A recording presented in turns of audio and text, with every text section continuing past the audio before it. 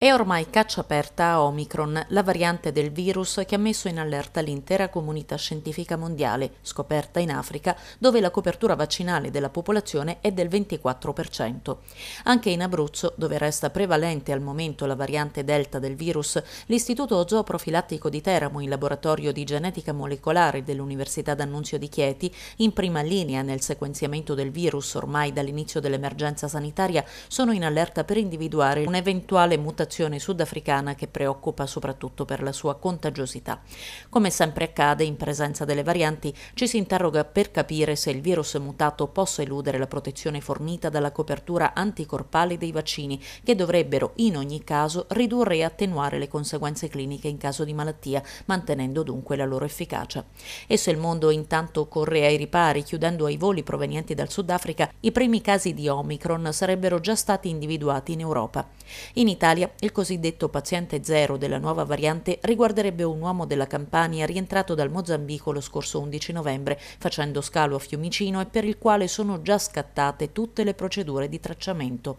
Come annunciato già nelle scorse ore, il rafforzamento sul sequenziamento del virus a caccia di varianti sarà pertanto implementato anche nei due laboratori abruzzesi di Chieti e Teramo, ma senza allarmismi, come precisano i virologi, che invitano la popolazione a sottoporsi alla vaccinazione che sottolineano resta al momento l'unica arma efficace per scongiurare la diffusione del contagio e soprattutto le mutazioni del virus.